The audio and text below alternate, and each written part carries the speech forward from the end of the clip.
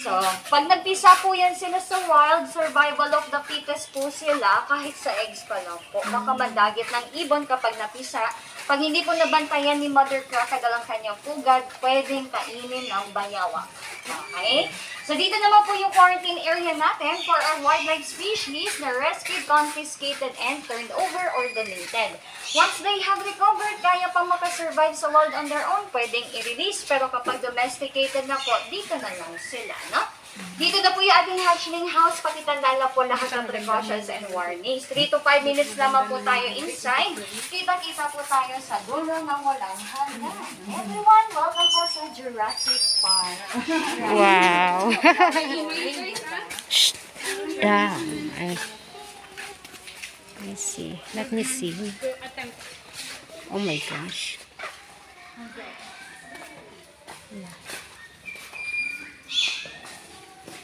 Next. Ayan.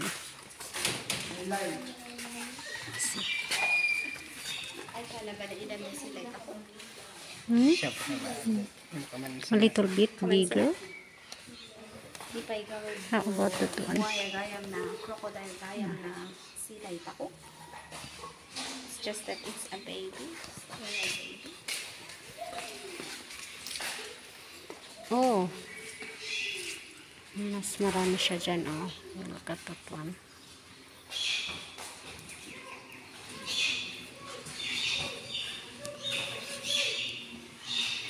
Hello, Geneva. Yan. Oh, very many. Ang dami nila, grabe. Yan yung mga baby na crocodile. Baby crocodiles. How, ma- how many? One, two, three, four, five, six, seven, eight, nine, ten, eleven, twelve, fourteen. Ayan. Grabe, mas malaki yung nandito sa gilid. Ayan, ang laki.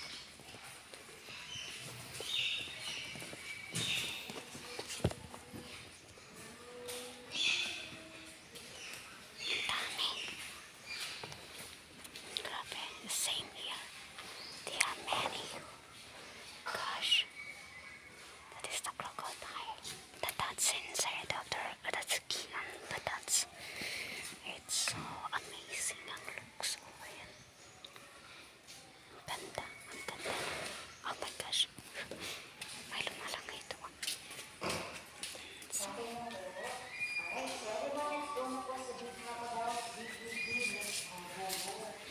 matching.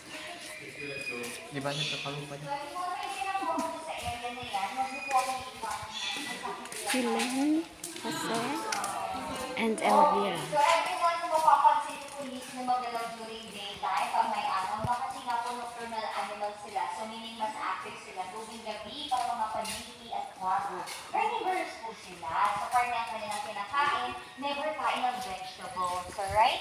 So dito po sa PWRCC, pinapakain natin sila ng chicken, fish, pork, beef. Once or twice a week lang po ang pakain kasi mabagal po ang kanilang metabolism. Okay? So sa wild din naman po, ganun din naman talaga yung pagkain nila. But some juvenile crocodiles can still eat shrimps, crabs, palaka. Pag lumaki, lalaki na po yung kakainin tulad ng nabanggit kanina. Pero hindi po tao.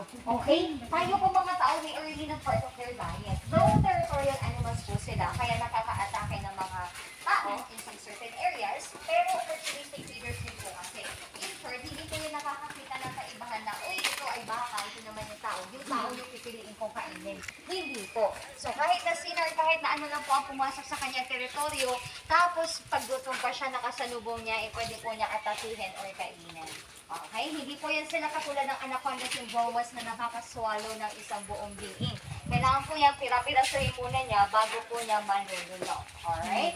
So, hindi po nila mauubos ang isang buong baka, isang buong baboy, may matitira at matitira po doon. Alright? So, everyone, pamakyat po natin dito sa taas since big crocodiles na po yung pupuntahan natin. Pakitingatan po yung mga gamit na huwag malaglag ha. Pag nalaglag po yan, pwede pa naman po makuha. Hindi ko lang po sure kung buo pa. Okay, ingat po sa pag-akyat. Aray ko. Aray. Philippines po. Saltwater crocodiles, crocodilus porosus, Pero hindi po ibig sabihin tubig, gadget po ang tubig, fresh water lang po yan. Okay? They can do both fresh and salt water, most especially in brackish water.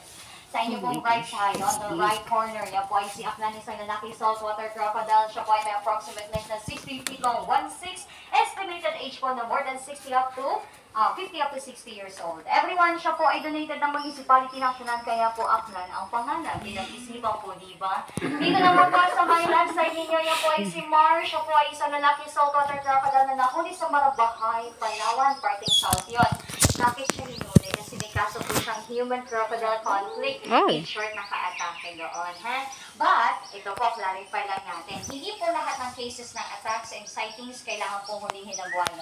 Okay? Kailangan po yan may mga criteria po na pagbabasihan. Okay? So, siya po ay isang lalaki saltwater crocodile na may approximate length ng 14 feet long 1.4 and estimated age po ng more than 40 to 50 years old.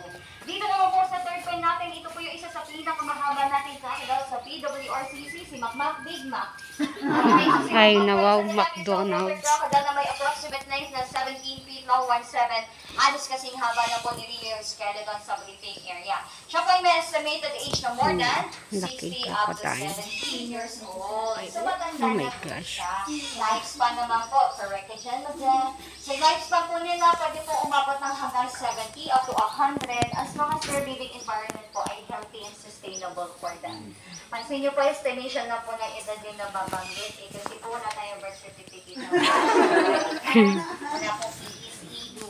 Alright. And I'm sure may nakita po kayong buhayan na nakabuka po yung bibig. Lalo na po for a long time. Ibig sabihin po, napapalamig. Okay? Wala silang pores and sweat glands so hindi po napapawis tulad natin mga tao.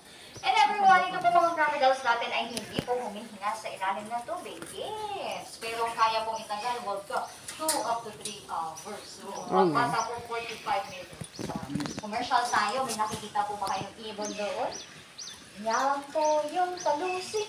Kalaw. Palawan Hornbill, everyone. Yan po ay endemic dito sa Palawan. Okay? Isa siya po ay soft release na pabalik nga. hindi po siya dito sa area. Minsan po yan ang na snacks, pero mainly po yung po yung kinakain po niya yung mga prutas-prutas po dahil sa puno na. Okay? Ah. So dito po sa Pilipinas, kasi meron tayong around 9 species or 9 species. Ah, yung laki. Grabe. Yan po yung isa doon. Swerte?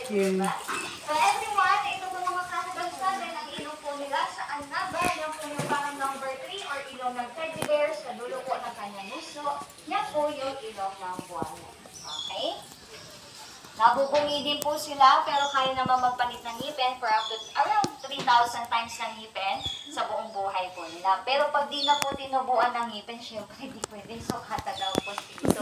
Dinikaduhan. Opo. So, everyone, pwede niya po yun ikamatay sa wild. Bakit? Kailangan niya po niya ng kanyang ngipin pang chop-chop ng pagkain. Not unless kung puro isda or manok lang po yung kanyang magiging diet or other kinds of birds. Okay? So overall po mga buhaya po ay amazing. Astig po sila and importante sa ating ecosystem. Pag sinabi po natin patayin natin silang lahat just because they look scary, magiging imbalance or hindi na po pantay ang ating ecosystem. So importante din po sila para mga bees and butterflies. Okay? So dito naman po sa last friends natin, ito po yung mga Philippine crocodiles natin. Again, endemic sa ating bansa. Only in the. Philippines, but sadly critically endangered. So kaya pinakonserve natin sila dito sa PWRCC. Eh bakit dalawa lang yan? Everyone, yung iba po yung mga kasamahan na po sa backside breeding area na hindi na po natin pupuntahan. Okay? So dito na po nag-end ang ating guided tour. May questions po ba tayo? Ayan. So, thank you so much, everyone. Dito na po tayo nag-end. Kung may time pa po kayo and gusto niyo po makakita ng ahas and iguana, meron tayo dyan sa may reptile house. Dito naman po yung mga Palawan bearded pigs natin, mga baboy naman ng Palawan. Kung wala po sila dyan, baka nandito sa kabilang side. Sa loob po ng nature park, kung may time pa po kayo, pwede pong masok sa loob. Pero hanggang Palawan bear lang po, paghanan yung mga Palawan porcupines. Left side po ang ating exit, and I'm sure gusto niyo bumuhat ng buhay na buhayan. Yes!